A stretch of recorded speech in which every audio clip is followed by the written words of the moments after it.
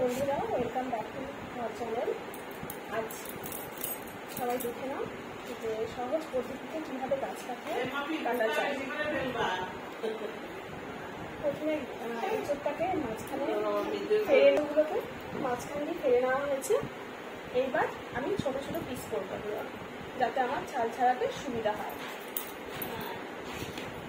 এই যে দেখো বন্ধুরা এরকম সাইজের পিস করব মাঝারি মধ্যে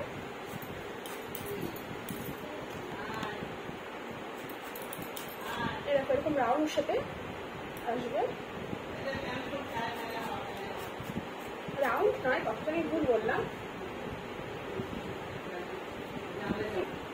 ঠিক চাঁদের মতন সাইজটা হবে।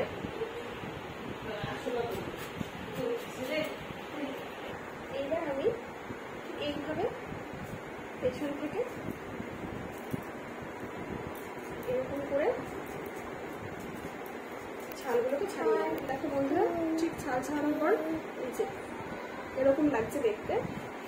এবার আমি এটা আমি পিস করে নেব যাতে আমার ভেতরে এই আরও ভালো আরও ভালো।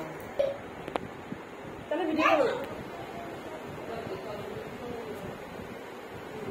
এবার বন্ধুরা আমরা এইভাবে মাঝখান দিয়ে ফেলে নিলাম তারপর আমি এইভাবে রাউন্ড শেপে এইভাবে মাঝখানের অংশটা বাদ দিয়ে দিলাম।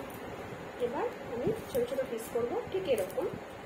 এবার যে যেরকম পছন্দ করে সে সেরকম পিস করে নিতে পারো।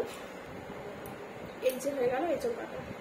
এই এঁচড়টা কেটে একটু হলুদ জলে যদি ভিজিয়ে রাখা হয়, তাহলে এঁচড় সেদ্ধর সময় পাত্রে কোনো রকম আঠা লাগবে না এবং হাতেও আর লাগবে না।